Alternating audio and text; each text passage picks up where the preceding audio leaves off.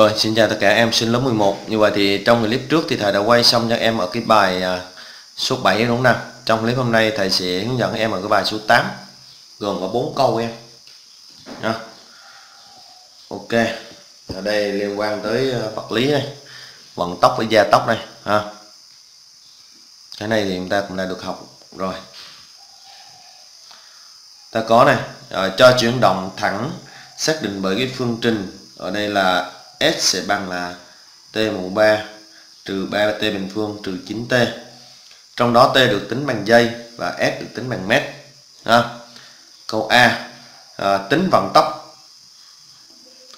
Tính vận tốc nghĩa là tính à, V ha, của chuyển động khi T bằng 2 giây.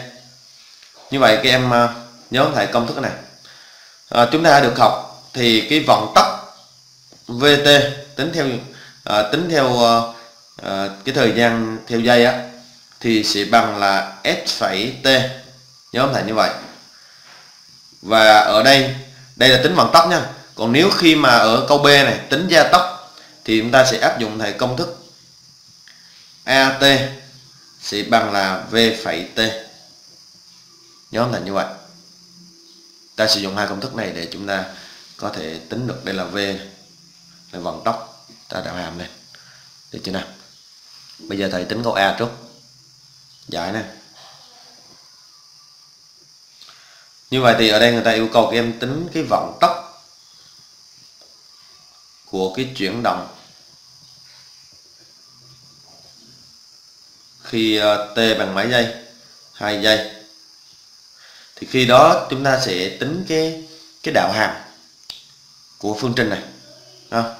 như vậy thì ờ, ta có ta có là VT sẽ bằng là S phẩy T.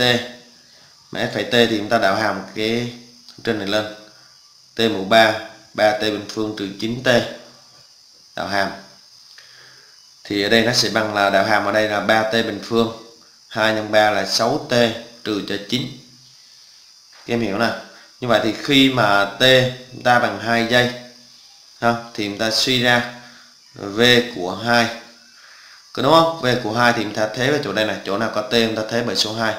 Lấy 3 nhân cho 2 bình, bình phương trừ 6 nhân 2 trừ cho 9.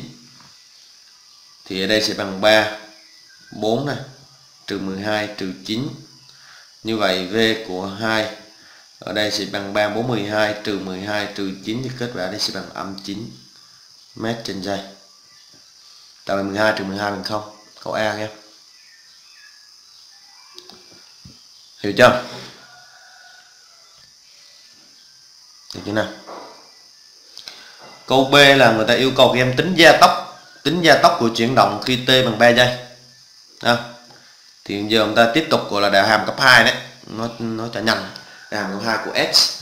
như vậy thì hồi nãy chúng ta đã, thầy đã cho rồi. At là bằng à, v phẩy t. Mà v v của chúng ta ở đây là đây. Chúng ta tiếp tục đạo hàm ở đây một lần nữa.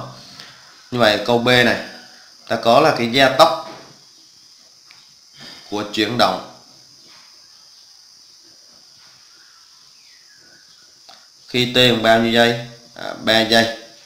À, à, ta có. Ta viết công thức trước. At này thì sẽ bằng à, v phẩy t. Mà vt chúng ta ở đây là bằng kết quả này nè. Đó này như vậy thì à, từ đây chúng ta à, sẽ à, tính được như vậy đây sẽ bằng là 3t bình phương trừ 6t trừ cho 9 phẩy. Như vậy AT này sẽ bằng là trở thành 6t trừ cho 6 Đó. khi t bằng 3 giây thì chúng ta suy ra A của 3 sẽ bằng 6 nhân 3 thì trừ 6 ở đây là 6 3 18 trừ 6 ở đây là bằng 12 à, mét trên giây bình phương gia tốc. Thầy làm cái nhân ta. Tại vì cái này nó đã có sẵn trong cái công thức ở trong sách thu kho rồi.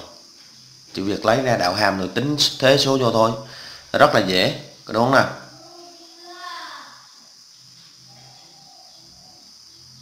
Đó.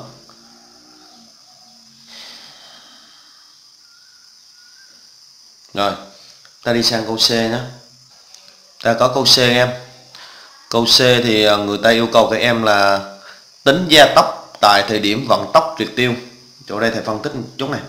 Tính ở đây là tính gia tốc, nghĩa là người ta đi tính A là bằng bao nhiêu? Tại thời điểm vận tốc triệt tiêu. Vận tốc triệt tiêu nghĩa là V này sẽ bằng mấy em? V này sẽ bằng 0 khi V này bằng 0 thì chúng ta tính ra được T. Chúng ta có T rồi thì chúng ta sẽ thế vô và chúng ta sẽ tính được A các em hiểu như nào tính gia tốc, tính gia tốc nghĩa là chúng ta đi tính A. Tại thời điểm vận tốc triệt tiêu, vận tốc triệt tiêu nghĩa là vận tốc này sẽ bằng 0 V này sẽ bằng 0 khi V này bằng 0 nghĩa là chúng ta sẽ cho cái anh này bằng 0 này. 3T bình phương trừ 6T trừ 9 bằng 0 khi đó chúng ta sẽ giải ra để chúng ta đi tìm T. Có T rồi chúng ta sẽ thế vào ở chỗ đây để chúng ta sẽ đi tìm A là gia tốc. Cái cách làm của chúng ta là như vậy như vậy thì ở đây ở câu C à, chúng ta có này các em hiểu nè như vậy ta có bây giờ thầy sẽ viết cái V. Cái VT này lại là trở thành là 3T bình phương trừ 6T trừ 9 đúng nào? À, chúng ta lập luận là tại cái thời điểm tại cái thời điểm vận tốc à, bị triệt tiêu. Thì cái V cái VT này sẽ bằng 0 khi nó bằng 0 thì tương đương là 3T bình phương trừ 6T trừ 9 sẽ bằng 0 thì cái này bây giờ chúng ta sẽ giải ra à, chúng ta bấm máy tính luôn này để chúng ta suy ra T này bằng bao nhiêu này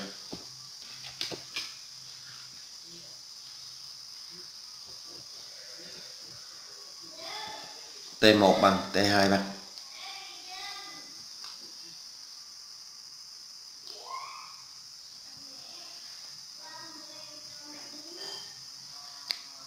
3 à, ờ, âm 6 âm 9 ấy là sao? Bấm lại. 1 2 3 này. Âm 6 này. Âm 9 này. x1 bằng 3 x2 bằng âm 1 âm 1 thì loại ha. Bằng 3 âm 1 âm 1 cái này loại. Cái này lấy này như vậy thì uh, khi mà bây giờ chúng ta lập luận tiếp là khi cái t này mà bằng 3 bằng 3 giây đó thì chúng ta suy ra a của 3 a của 3 chúng ta thế vào chỗ đây này 6t trừ 6 này. Như vậy chúng ta lấy 6 nhân 3 trừ 6 thì lại tiếp tục là bằng 10 12 mét trên dây bình phương. Được chưa? Vậy a ở đây sẽ bằng là trường hợp này là bằng 12 mét trên dây bình phương. Đây, sang câu D nha. Hiểu chưa? Ở câu D em câu D thì ờ, người ta nói như này. Tính vận tốc, tính vận tốc nghĩa là đi tính V bằng bao nhiêu? Tại thời điểm gia tốc bị triệt tiêu.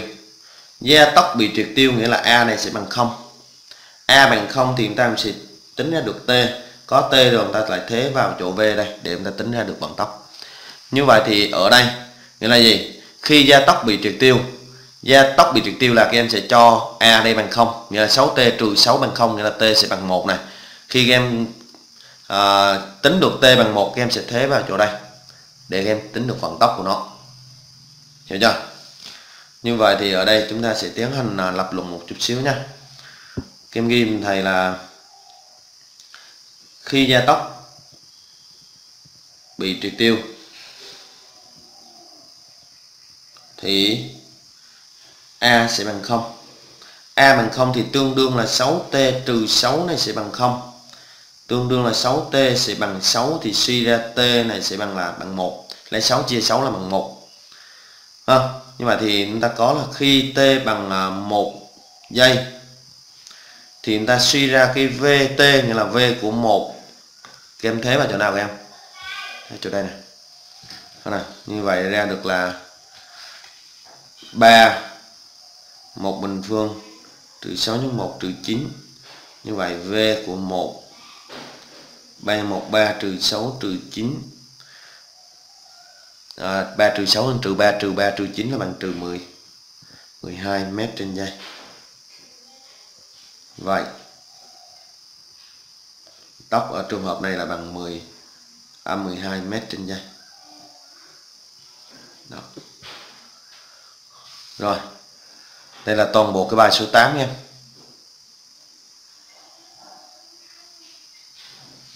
Nhìn xíu nè. Câu A. Ghi chép ở đó, ông ta bấm dừng video lại nha. Câu B.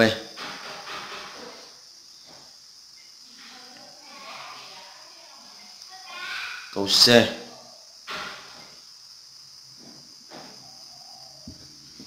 Và câu D.